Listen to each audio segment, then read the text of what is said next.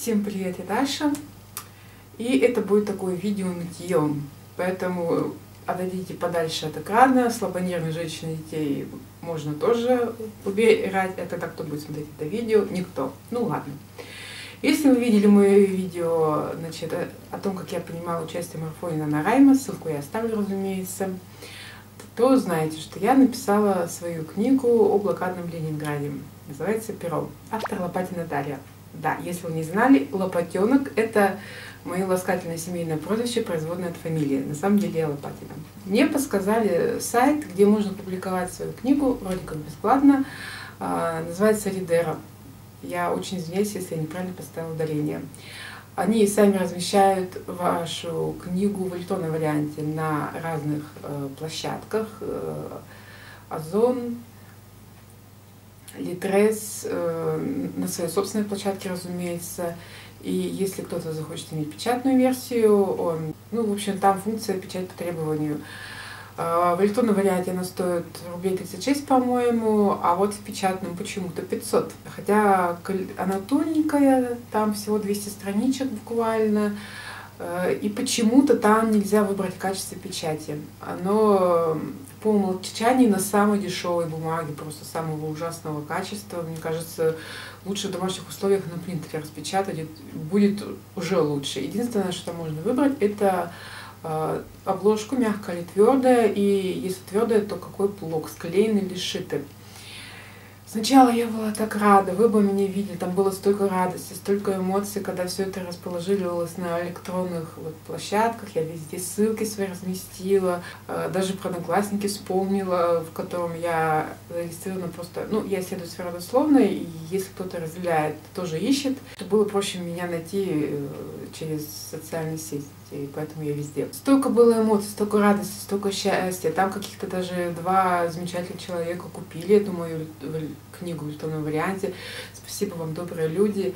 Столько там было радости. Созрела я тут напечатать свой тираж, хотела здесь на YouTube разыграть э, бесплатно для своих подписчиков, ну не только для подписчиков, и все, все кто увидит видео, они могли бы выиграть пошла печатать, мне сказали 200 рублей за книгу. Угу, ну, конечно. Ну, спору нет. Там чем большее количество экземпляров вы закажете, тем дешевле будет стоить один экземпляр. И, видимо, человек, который мне все это рассказывал, он заказывал именно внушительное количество. Я хочу напечатать для начала 10 штучек. Я бы хотела в твердой обложке, так как мягкие я сама не очень люблю. Твердыми я тоже стала покусывать так жаба твердой обложке. Ладно, пусть со склеенным блоком, не сшитым. Э, я боюсь жабу, она меня может до смерти закусать. 6. 6 тысяч. Мягко подешевле. 3 тысячи за 10 экземпляров. 300 э, рублей получается за книгу. В общем, я сейчас в унынии. Вот кому вообще нужен мой скучный, унылый, скудный, э, пресный, опус, пусть даже на такую серьезную тему, кстати, вот так совпало, я вообще не подгадывала, правда, но я помнила задним умом, что в январе э, снятие блокады было. Но я вообще подумать даже не могла, что в этом году прошло 77 лет с момента снятия этой блокады. То есть я прям вообще подгадала. Я, я ходила, сомневалась, прав, э, э, публиковаться ли мне на Ридера или стукнуться в какое-нибудь приличное издательство, э, а, АСТ, например, или АСТ. Я прошу прощения, если я опять неправильно называю. Вообще моя мечта это редактировать у Елены Шубина. Это, это прям вот мечта, но боюсь неисполнимая. И когда вдруг до меня дошло, а ходила и сомневалась где-то 25-го, 26-го, и думаю, а ну-ка, а проверю-ка я, сколько лет прошло. И я проверила. Когда увидела, что 77, думаю, ну нафиг. Я, я заходила на сайты разных издательств, и они рассматривали где-то по полгода рукописи. Думаю, а, надо срочно, надо успевать, чтобы подгадать как раз вот к 27 января, ну, дню снятия блокады, будет вообще шикарно, вообще шикарно. И поэтому я пошла на Ридера. Это было ошибкой. Это дико дорого, как вы уже поняли. Э, малейшая услуга там стоит денег, денег приличных. Мне тут предлагали еще один повод огорчиться, принять э, участие в международной э, выставке, 22 же по счету. А, и, ну, я думаю, ну что, ну что, ну что, там только оплатить тираж, место, где будет стенд стоять, надо же арендную плату. Э, ну, вряд ли это там стоит гигантских денег. 15 тысяч самый, самый дешевый тариф. То есть там есть три тарифных плана и самый дешевый 15 тысяч. Только что прошел Новый год. Надо было дарить подарки, накрывать стол. У меня накрылся медный таз на мой телефон. Я заказала новый. Он стоит э, тоже не 5 рублей. Хотя я взяла не самый такой брендовый, попроще. Э, мне в следующем месяце надо делать маммографию. И еще неизвестно, что она там покажет, потому что в том году она меня не радовала. И непонятно, э, то ли там осталось все как было, хоть бы, хоть бы. То ли, э, вот, э, а если нет, представляете, какие-то траты будут. А, и мне надо зубки долечить, потому что из-за пандемии все закрылось. И я как бы взяла так паузу, мне, мне самой было опасливо. Это точно сотку станет. Мне сейчас тратить деньги вообще не по приколу. Ну, то есть тираж я бы еще могла оплатить, вот, да, если бы, э, ну вот 15 тысяч я точно нет, не потяну. Еще не будут расстроиться.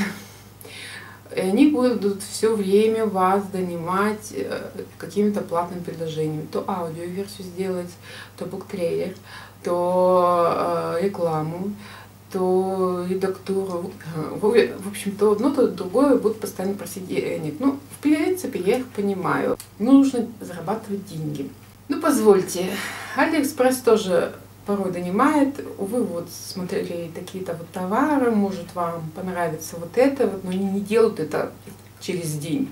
Кроме того, вы, конечно, можете там оплатить, чтобы они там в книжную палату ваши книжки несколько штучек послали, или в, или в книжных магазинах разместили на месяцок. Это, это стоит денег, все. И по сути я тут посидела несколько дней, подумала, а, где-то я уже неделю над этим размышляю. Этот сервис годится только чтобы потешить самолюбие графомана, причем самолюбие богатого графомана, хорошо зарабатывающего графомана, дочь олигарха графомана. Вот знаете, в, в этом духе, если вы хотите все-таки распространение вашей книги, приличного, и при этом не оказаться на улице, на помойке и из-под коробки от холодильника жить, то все-таки надо в издательство, надо. Я вот посижу, понастраиваюсь, и, может быть, тоже стукнусь. Ну и что, что полгода. Вот знаете, вот я со всеми этими размышлениями, хоть вообще переставай писать, вот прям хоть бросай. Хотя я без писанины не могу, но я могу на аликоммент отзывы писать, например.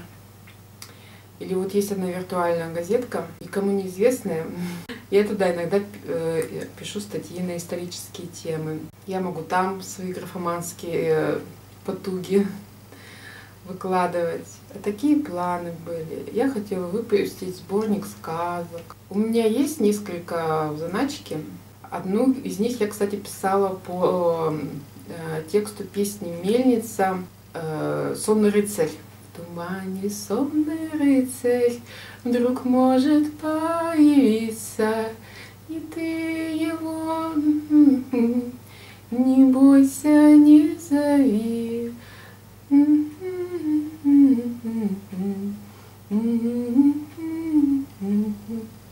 И конь, и конь, и конь на три ноги. Что-то в этом духе.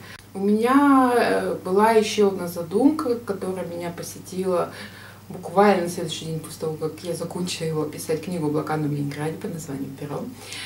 И, и эта задумка у меня все еще зреет в голове.